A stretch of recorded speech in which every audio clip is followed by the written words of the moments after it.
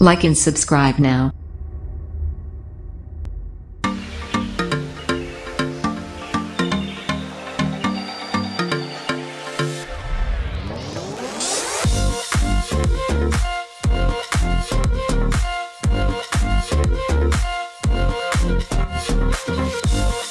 Aduh, minuman ini tuh enak banget, seger banget. Ini cuma pakai dua bahan, lemon dan juga strawberry. Strawberry aku bejek-bejek cuma karena aku nyerah, jadi aku pakai hand blender deh. Terus strawberry kurang ada rasa, jadi aku tambahin madu deh. Terus aku pakai satu butir lemon dan sirup ini bisa dipakai buat bikin 4 gelas ya. Terus aku tambahin aku deh biar lebih mantap. Ini tuh enak banget guys, serius.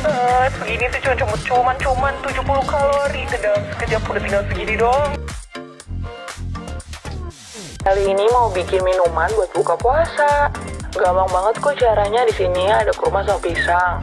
Nah udah dipotong-potong, habis itu di blender ya guys. Setelah blender, siapin gelas dan es batu, lalu dituangin tuh yang udah di blender. Ini agak kental, kalau mau dicairin boleh ya, pakai tambahin air. Dan di sini aku tambahin choco chip sama astar di atasnya. Ini sih minuman ala-ala cafe yang sweet gitu, enak banget guys, cobain ya.